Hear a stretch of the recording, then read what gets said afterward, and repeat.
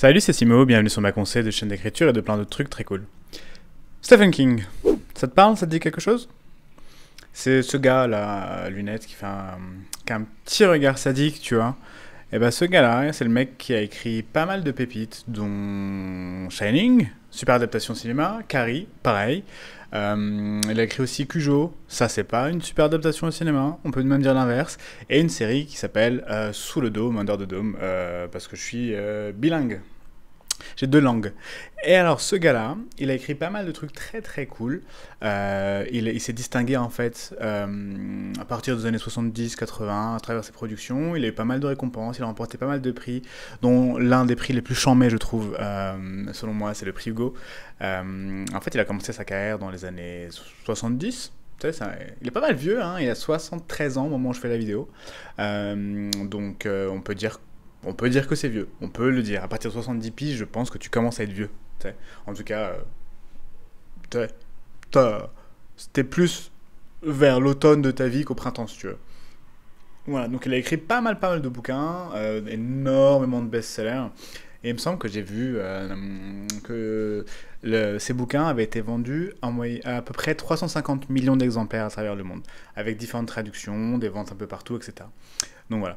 Et euh, c'est un gars qui a une, une notoriété tôt, mais une reconnaissance tardive. Parce qu'en fait, quand on écrit du fantastique, de l'horreur, de la fantasy, de la SF, euh, par l'intelligentsia, en fait, globalement, tu euh, es moyennement reconnu.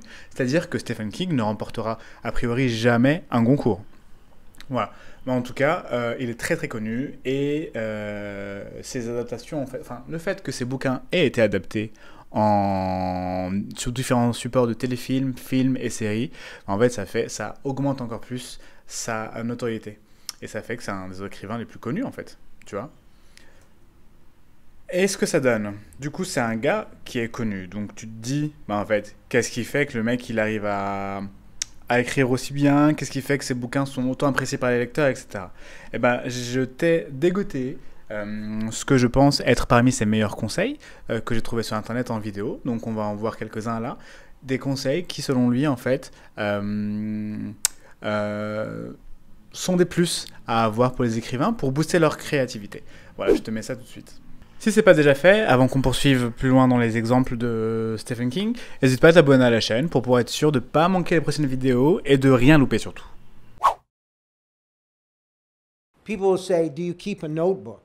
And the answer is I think a writer's notebook is the best way in the world to immortalize bad ideas. Uh, my idea about a good idea is one that sticks around and sticks around and sticks around. It's like, to me, it's like if you were to put breadcrumbs in a strainer and shake it, which is what the passage of time is for me. It's like shaking a strainer. All this stuff that's not very big and not very important just kind of dissolves and falls out. But the good stuff stays. You know, the big pieces stay. Um, I had the idea for Under the Dome uh, when I was teaching high school back in 1973, and it was just too big for me, and I was too young for it. And uh, I wrote about 25, 26 pages and uh, put it away. There's a scene at the beginning of this book where this woodchuck gets cut in half when this dome comes down over this town. I had written that part when I was in in my early 20s and just sort of recreated it from memory hmm. when, I, when I wrote the book. So the good stuff stays. I want to tell stories, but I love the language. I always have. I've, I fell in love with, with books, uh, with novels when I was a, a young guy, and uh, I fell in love with poetry when I was in college. Uh, people like uh, Richard Wilbur, Hart Crane, uh, Ezra Pound, T.S. Eliot, all, all the, these guys. Um, the, the quality of the language being like something that you could eat with a spoon. And I don't aspire to be lyrical. I don't want to do that. But I want to write as well as I possibly can.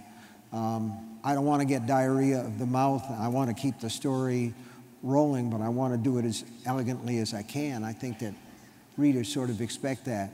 So the, and then when the thing is done, uh, you give it to people, and uh, particularly an editor. And one of the things I'm asked sometimes about editing, the more successful that you get, the more important it is to listen to an editor who won't let you hang yourself in Times Square. So I try to do that, and uh, I remember what Hemingway said you must kill your darlings. Well, that seems a little bit harsh. I'm not able to kill all my darlings, but I do some. Next. Anyway, I, I had a Honda because I didn't know any better. And. Uh, and I got it out in the spring when the snow was gone from Maine, and, and I started it up, and it just, it wasn't right. It just wasn't running right. And uh, somebody told me, well, you go on up to this guy's farm. He's got a, uh, you probably know where this is going. uh, he said, go on up. This guy's got a little garage adjacent to his farm, and he's got this unique way of doing things. He tells you what it's going to cost, and that's what it costs. So I went up, and about halfway to this farm, which was way out in East Overshoe, the, um, the motor started to skip. And uh, by the time I got to the farm, it was barely running at all, and it died as I pulled into the, uh, into the guy's dooryard. That's what we call in Maine, a dooryard. So I'm on my motorcycle, and the motorcycle is dead. And from this garage, came the biggest goddamn St. Bernard you ever saw in your life.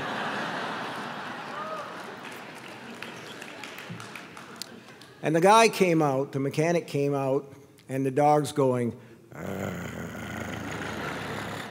it's got that stuff coming out of his eyes, you know, the way that St. Bernards do. And he said, Don't worry, Buster is very friendly. And Buster weighed about 250 pounds. And so I walked over toward Buster, and his haunches just sort of coiled down, and his teeth came out. And he actually started to go for me. And the guy brought a socket wrench down on his hind end. And uh, the dog sat still. And I thought I might get an apology, but the guy looked at me and just said, Buster must not have liked your face. So he fixed my motorcycle, and I wrote a book called Cujo, and uh,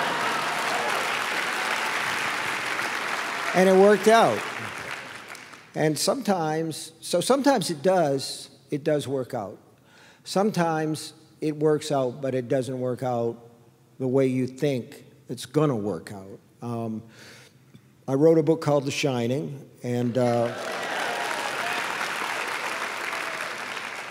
Jesus, this is like being Led Zeppelin back together again. Play all the hits or something. That's kind of cool, you know. You sit in a room and you write stories and everything, and then you come out here and people have actually read the stories. It's, it's, it's horny. It's good. So, anyway, uh, I thought when I wrote The Shining, I said, I had this wonderful idea about this family in this haunted hotel, and what they really want is the boy with psychic powers. And at the end of the book, the hotel will kind of absorb him, and then we'll see the next year, we'll see the whole family as ghosts. But it didn't turn out that way. I, I feel like you have to follow the characters and you have to follow the story where it leads. And the last thing that I want to do is to spoil a book with plot. So, you know. I think, I think the plot, that uh, plot is the last resort of bad writers, as a rule. I'm a lot more interested in character and situation, and you follow it where it goes. And, you know, I got a lot of letters after Cujo because the little boy died at the end. Tad, his name was Tad, and he died of heat, heat prostration in the car. And I got a lot of letters saying, How could you kill that little kid? Parenthetically, I got a lot more letters about Greg Stillson kicking a dog to death in the dead zone. People care about dogs in a way they don't about kids. It's, it's weird, but there it is. Hey, I don't make the news, I just report it. You know what I'm saying? So, anyway, I had no idea that Tad was going to die, and I had no idea that uh, Danny and his mother were going to live, but I was really glad when they did. My method for starting anything is I tell myself the story when I'm laying in bed at night before I go to sleep. I'll tell myself this story. And so at some point, probably nine months after this, because this is what it's like, you know, a little piece of grit and it makes a pearl after a while. You just have to give it time. And if it doesn't happen, it doesn't, but a lot of times it does.